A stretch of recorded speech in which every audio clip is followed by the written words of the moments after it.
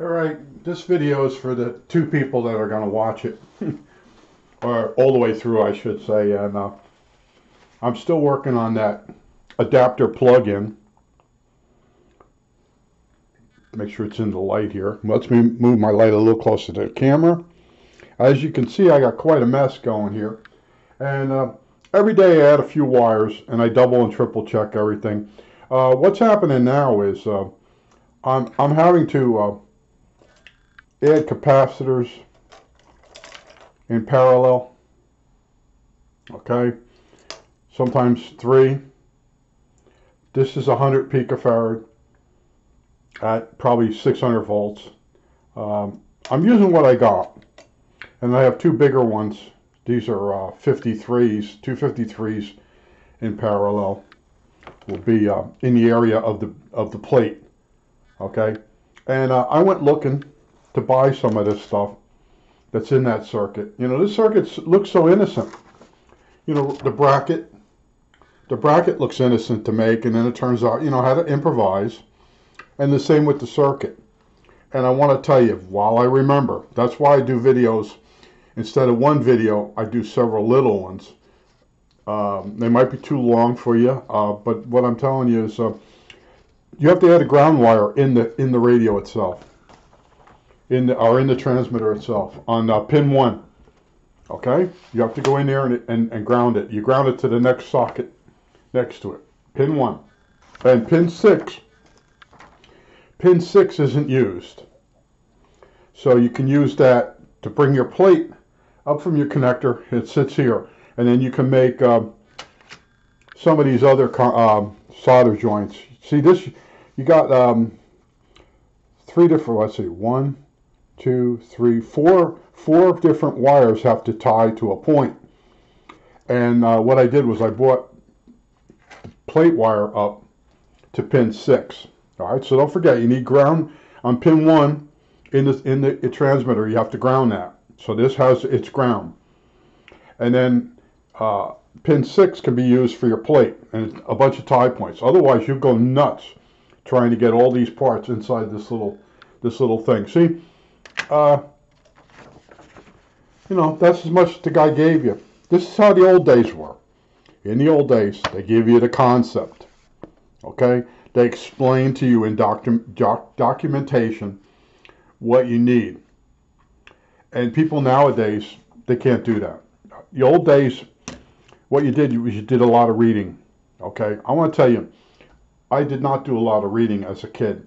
I dreaded it. And it's because of the ADD, this dyslexia, I told them, teachers, uh, principal, that when I look at a word, sometimes it reverses itself. I was explaining to them what I went through with dyslexia. And also another thing too is, I'm, as I'm reading a line of text, sometimes my eyes would go back to the left and come on the same line again. So I, I put my finger not on the line, under the words, under just in an area to help my eyeballs um, know where to go. Okay, so they could go line to line to line. And they kept stopping me from putting my finger on the page. Now, what really killed me is years later, speed readers would, would take their hands and go back and forth on the text. And that's that, it relaxes your eyes. So, anyway, I had a lot of problems, but I, when it came to electronic text, an electronic problem project. I only had certain books available. Uh, some of them my dad had bought. Uh, we had a subscription for a while to Pop Electronics, and we saved the magazines. And I would read those magazines over and over and over because there's a learning curve. Okay? You got to know a certain amount of things just to make a circuit work. Now, uh, there's always suggestions like a regenerative circuit the dressing of the wires and uh, keep them short as possible. And the other thing too is uh, if the circuit doesn't oscillate, make sure you reverse the tickler winding. Just reverse the wires and hope it works. And that usually makes it work. Anyway, so over the years, I would read texts. And I, I, I, if you know me and followed my past videos that I deleted, I went back on all the circuits that didn't work as a kid and figured out what went wrong. In a lot of cases, it was somebody that sold me the part would tell me it'll work, and it wouldn't work. And I figured out that it, it just would hit me. I'd go back and get the circuit because uh, Popular Electronics is available online for free, all the back issues as PDFs, and I'd go back into those things and build the circuit. And I built the regenerative uh, CB receiver, one transistor. It worked. It came right on and worked. And what was wrong there was the guy at the parts store was being nice. He gave me an 8 ohm earphone, and the circuit called for a 2000 ohm earphone because it was basically a, a transistor circuit operating as a high impedance tube circuit. Okay, and it didn't work. And I, I, tell you, I was really disappointed. I spent hours going over the wiring, and there was nothing that I did that was wrong. But I did not understand impedance. Okay, an earphone isn't an earphone isn't an earphone. Now, in some circuits, if there's an output transformer or a certain type of circuit, you can stick any earphone in, and you'll get sound on the earphone. You might not get a lot of sound, but you'll still get sound. Where in a regenerative circuit, that's basically um, with the tubes, that would be in the plate circuit. So 8 ohms, very little current would go through that 8 ohm uh, earphone. Plus it messes the tube up, makes the tube run too hot. In a regenerative um, tube circuit, uh, transistor circuit, uh, the same thing. Too much current going through, you could burn the transistor out. It won't oscillate. It was really, it was my birthday money that I bought it. I built it on a nice little board. I still had the parts here in the parts bins, and I went back and got those parts out, put it together. It came right on, knowing that I needed a 2,000 ohm uh, earphone, and I could have used a little miniature transformer. But these are the things you go through. And the old timers, they write these articles. And I want to tell you, I wrote an article. I wrote two articles, three articles, whatever. They cut them down to publish. They cut out some of your words. So there's there's little little uh, chunks, don, donut holes of information that's actually missing. And I have to go over this a few more times and see if they mention. See, they show the ground on pin 1, but it's not on the transmitter. Pin 1 isn't grounded. And it might be in the text, and it might have been donut holed. But I stayed with this, and uh, I got most of the parts. And uh, I went online. I started trying to order some of these parts. And uh, a 600 volt capacitor, uh, probably Mouser might have it, but everybody else no. Uh, eBay, yes, if you want to buy 10 of them. Okay, these are the problems that are modern. And that's why when those guys in the group said, oh, we don't need Radio Shack anymore, we got online, blah, blah, blah, blah. Well, the problem is online, uh, except for like Mouser, uh, wants to sell you 10 of everything. Okay? So it, online isn't that great compared compared to when Radio Shack was Radio Shack and you could just walk in there and pay them uh, 79 cents for two capacitors in a little blister pack. Okay? And so people go, oh, they're only a dime capacitor. They're selling two for 79. Ah, rah, rah, rah. Yeah, okay. But what about the convenience? Okay? You need the part. You go to Radio Shack. By the end of the day, you got the circuit working versus ordering it online or ordering it and waiting, paying the shipping. Okay? You could tell these guys that shoot this stuff off never build anything. Because when you're a builder, you really want the parts right away because it's an addiction. Okay?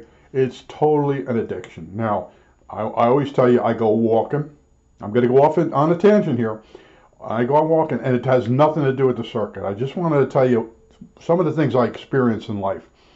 Uh, I go walking. I walk around the neighborhood. I clean up the neighborhood. And uh, New Year's Eve, it was pretty good. I, I do have a giant uh, cable TV spool down in the in wet muddy ground in the, a gully, a water catching gully. Uh, the kids took all the, the, the stones out that break the water from digging in. They moved them and made a dam out of them, so they all have to be put back. But the spool is down in muddy land, and it's a big cable TV spool like it's on the back of the truck. And someone might have used it as furniture, or the kids just found it, rolled it down. So I have to roll that bad baby up. And that's a six foot diameter spool. And there's also a big cardboard box. The other day, uh, there was some snow on the uh, on the grass in the gully, and I guess the kids were trying to uh, sled using the boxes, and they left them all there.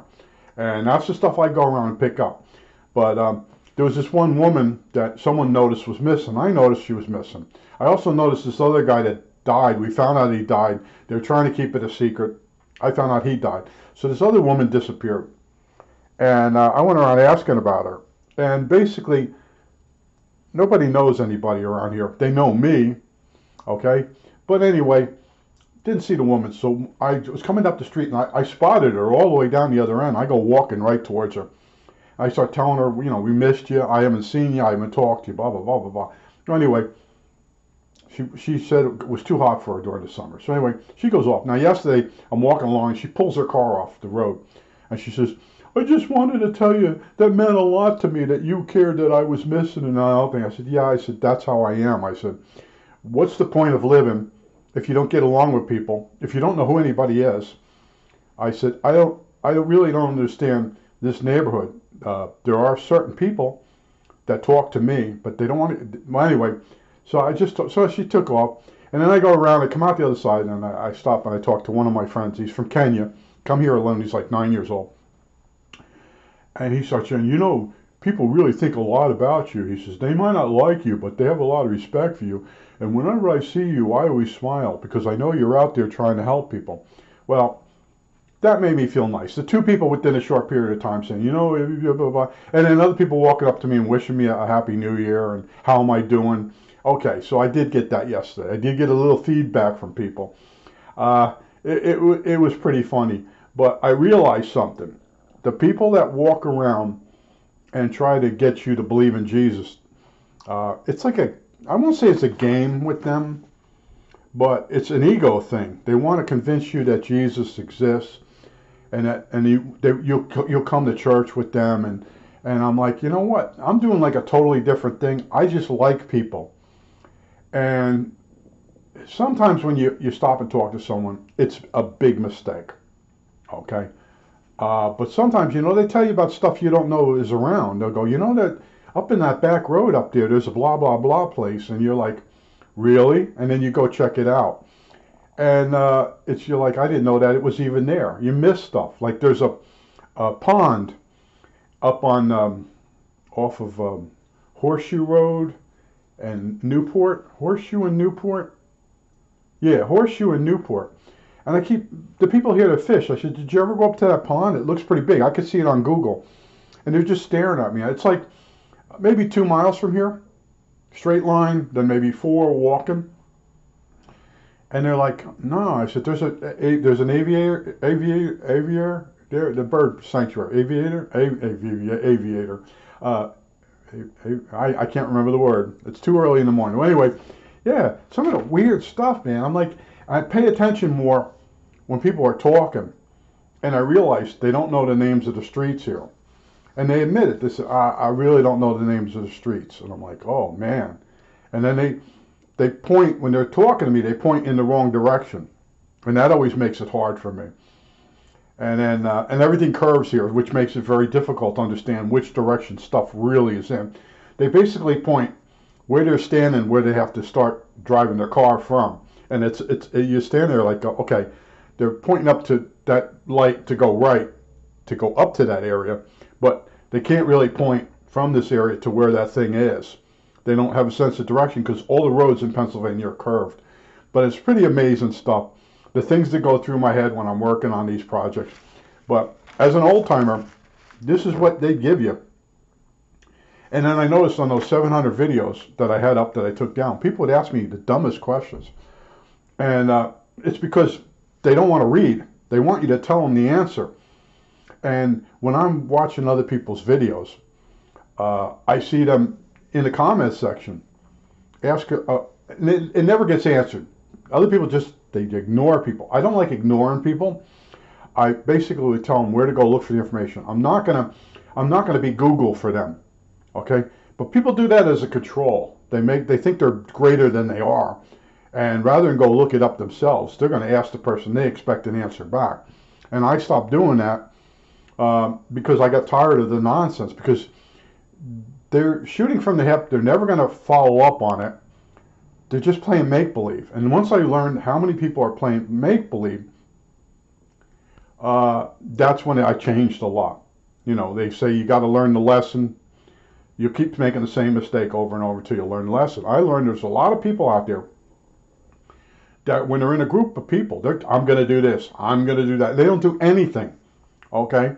And I don't like to talk about what I'm working on because people have no idea what the hell I'm saying. So I say, I'll just say, they'll say, what do you, yeah, I got another electronic project I'm working on.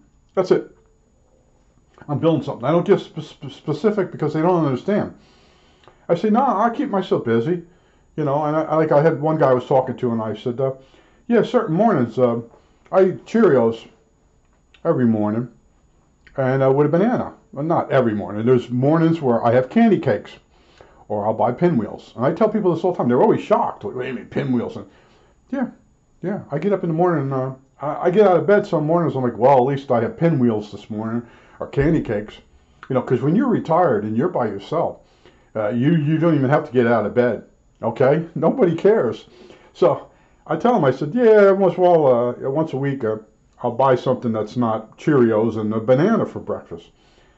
And it's, I said that mornings I don't have trouble getting out of out of bed because I know I can go have um, uh, candy cakes or a thing. And they're like, that's really bad for you. I said, what exactly do you eat? Eggs and bacon. Okay, we won't go there. I said, you know, I think if you look at the uh, actual ingredients for candy cakes versus greasy bacon, okay, uh, I think the candy cakes actually win, okay? And that's what I said, I was telling the one guy. And uh, I said, one of my favorite candies is the, those cherries with the liquid in them, the chocolate cherries. He goes, that's basically cough syrup co- covered with chocolate. He doesn't like it, it's too sweet. I like them. And I buy them once in a while because it's a treat for myself. You know, why be alive if you don't treat yourself? But uh, I just wanted to tell you, you know, when it comes to something like this, you know, uh, this might not be your cup of tea the first time. But like I said, this video is for the two people that tune in to see how this is coming along. Now, the switch is all wired in. The two crystals are uh, socket wired in. Okay? And there's not a lot of room in there. Okay? And then the fact that I have to, uh, you know, parallel some capacitors. This is going in the grid circuit, okay, because these aren't that high a voltage. And if they short out, no fire will break out. And then these big guys here, two of these go in parallel. They go up in the plate circuit as 100 picofarads. They're like 53 each, 53 picofarads each. These just silver micas. I have a whole crap load of these. Uh, and this, this goes also in the grid circuit. This is two tens in parallel to give me 20 picofarads. And uh, you can see the two, I don't know if you can see the two resistors here in series. Uh, they, they have some really weird values. You know, 72K and uh, 27K. And uh, they're not exactly uh, very common um, resistors. And the other thing too is uh, if you put two quarter watt resistors in series, they still add to half watt. Plus this this one here, I think this yeah this is on the grid circuit. It's across the crystal. Um, it, you don't need full uh, you don't need a full half watt there. And then uh, I'll, I'll do two resistors in series uh, for the one that, that sits in the uh, screen. Okay, the plate gets direct voltage.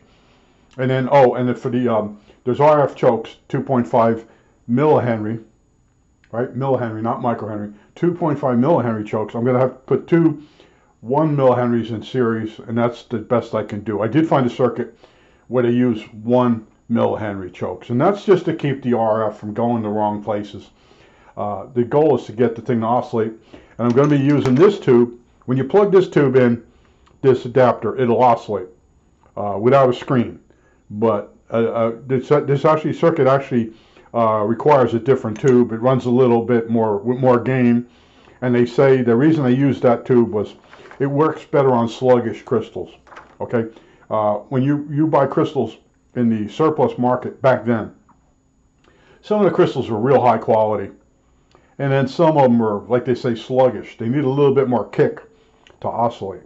So when you're, you're keying the oscillator on and off, uh, it might not come on during one of the dits or das, okay? So in other words, uh, by using a better, a better tube with more gain, a more modern tube, uh, that problem wouldn't happen. Now in my case, I'm not going to be turning the oscillator on and off. I'm going to be keying um, the output tube's um, uh, screen. Okay, I'm not going to be keying the oscillator on and off. That that causes uh, uh, some chirping. Uh, other chirping is caused by uh, the oscillator not being regulated. Okay, so when your power amp turns on and off, uh, the voltage drops on the oscillator and it causes a shift in frequency. And that shift in frequency, when it goes through the air and gets beated with the beat frequency oscillator at the other side, causes a chirp because it's shifting in free frequency. So I read up on how to stop the chirping. And um, a lot of people just say keep the oscillator running all the time and then regulate it. And the reason they didn't do that on aircraft during World War II is you don't want the oscillator on during radio silence. Okay, uh, there's back in the World War II days, they had the uh, antenna arrays and receivers that could actually pick up an oscillator of an approaching aircraft if it was leaking out, if it was leaky.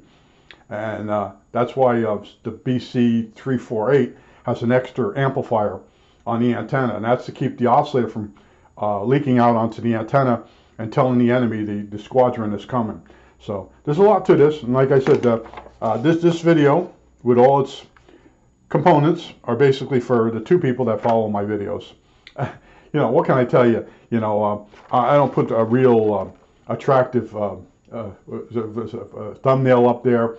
You know, the aircraft looks like it's crashing into a house, and then when you you basically watch the video, that that was just a fake picture. I'm seeing a lot of those lately. I'm seeing a lot of short videos they load you up with commercials. And then you watch a 50 second uh, video.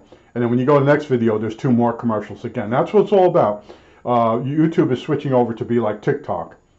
And these long videos that I'm doing, uh, they'll discourage them in the future, you know. And like I said, this uh, building this converter or this um, uh, oscillator plug-in so you can operate this transmitter as an amateur with a with a bottom end license. Okay, uh, in other words, this is old school. This is how they did it, and uh, you know I still have to do the power supply.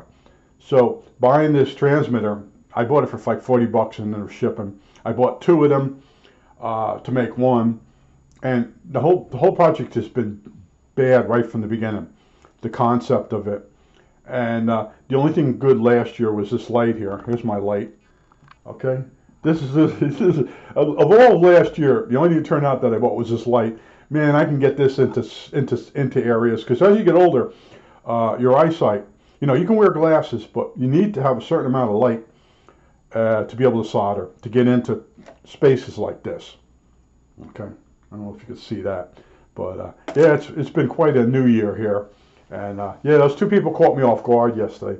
It really meant a lot to me that you. Oh man, but I that's what I do. I said to them, that's what I do. I go around and see how people are doing because, you know, you, you, you, treat people, it's the golden rule, but it's actually in the Bible. I won't preach to you.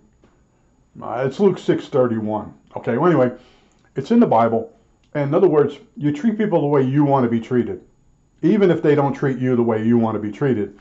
And after a while, you get to know a lot of people and it just makes the day better when you can go out for a walk and bump into someone that actually talk to you you know you talk about your your anxieties or things that bother you and they talk about the things that bother them and that that's what people are all about but nobody's really doing that anymore everybody's uh, one up on the other person uh, everybody's uh, texting each other it's that part of it's missing so when i go out there and talk to certain people they're missing that and that's where religious people can promise you certain things.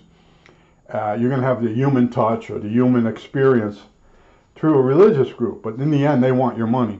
Okay, it's that simple. But they're they're giving you something you're being deprived of.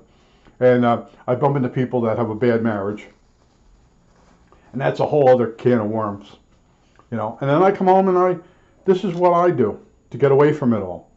Okay and I build stuff as soon as it works. Sometimes this goes in a drawer somewhere or in a bin. Okay, that's what you got to understand about me. And you say, why does he? Why do you build so much stuff? How do you know how to do it? Well, I've been doing this stuff since I don't know if it was seven or eight years old, building stuff. You know, for my birthday, going getting a uh, a, a CK722 a CK7 CK7222. Uh, look it up. It's a transistor. Uh, it was three dollars and forty nine cents when I bought my first one. When I bought my last one, uh, before I went to like the modern uh, silicon transistors, it was like 98 cents. Same place, Burger Electronics, Bloomfield Avenue, Bloomfield Avenue, and Watsessing in Bloomfield, New Jersey. Uh, there's no mention of Burger anywhere on the internet. Cy Burger, and he had a TV um, supply place. It was an RCA dealer, and that, that's the other thing that kills me. You know, all these people that are mentioned on the internet that are nobodies, and you had a guy like that providing parts for all the servicemen in the area, and not a not a mention of the guy. That that, that kills me too. You know, you go looking, uh, even the simplest stuff, uh, like you you read about the diff- the town I grew up in, and I would mention certain people that had like a candy store as a kid. You know, what became of her? You know, nobody cares. They don't care.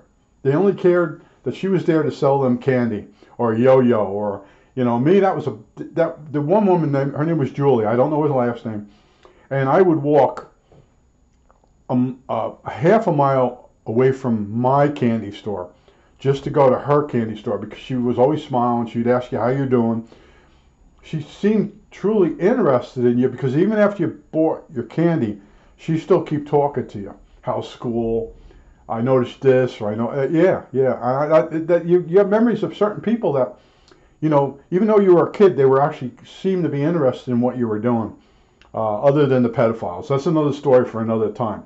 I think that's it. All right, that's it.